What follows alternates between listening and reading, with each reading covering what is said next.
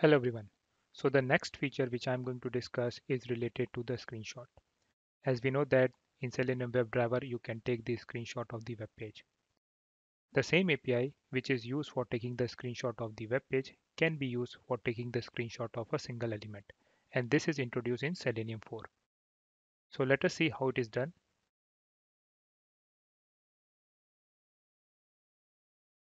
In the setup method I'm going to use the WebDriver manager for setting up the Chrome driver.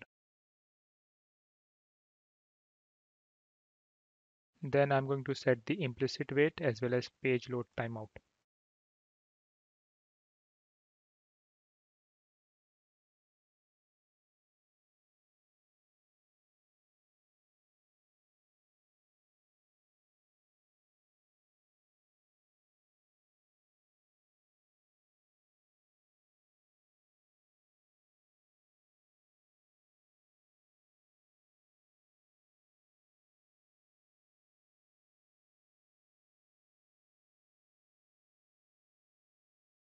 So first using the get API, I'm going to open the web page.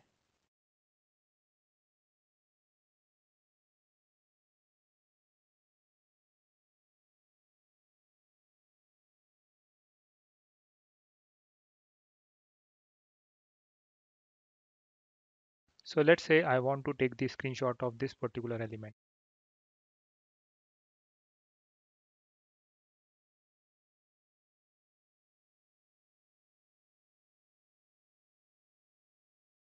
And in order to locate that element on the web page, I will use the attribute as ID. So we will use driver dot find element by dot ID. I'll specify the ID over here. So as we know that the call to this method is going to return us the type of web element.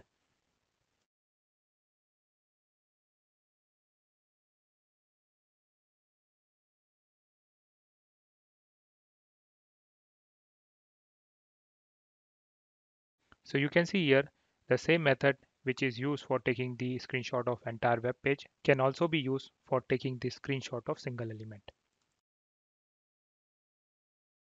And the output type is bytes. When I specify the output type as bytes, this method is going to return as a byte array.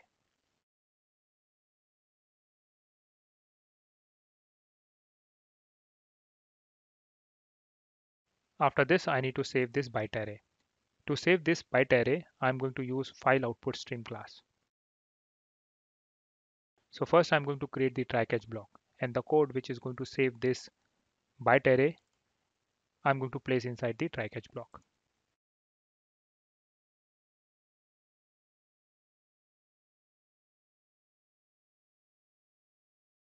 And in case if there is any exception, I'm going to call the print stack trace to print the complete stack trace of the exception. So file output stream equal to new file output stream new file and here we need to specify the location where we want to save this screenshot.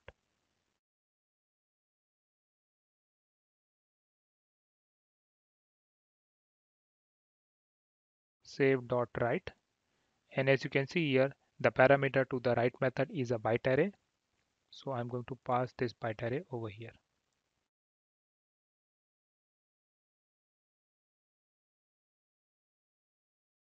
So let me put a debug point at line number 42 and run the script in a debug mode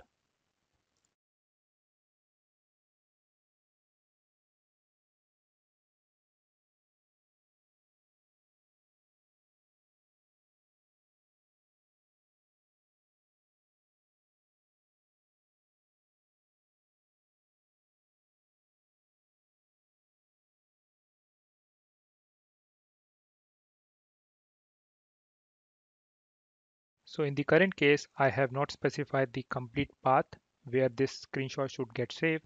So by default, it will save in the same directory where I have my project.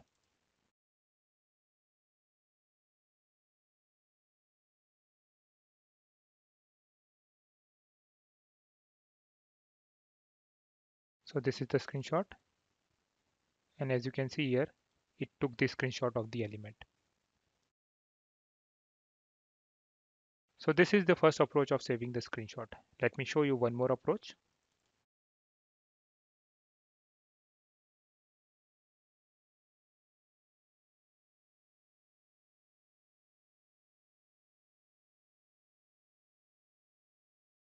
element dot get screenshot as and this time I'm going to specify output as type file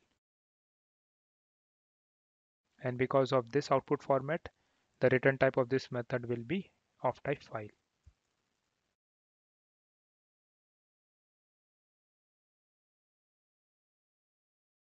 And then you can use the class that is file utils dot copy file.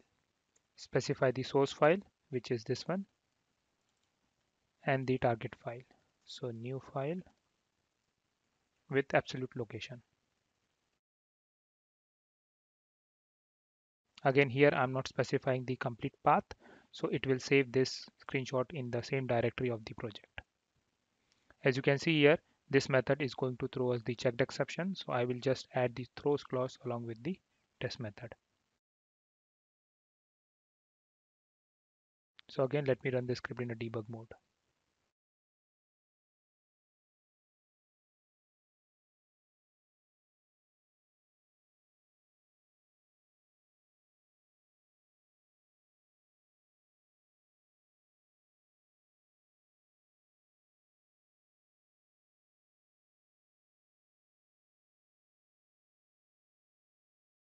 So this is the screenshot which we saved using the second approach.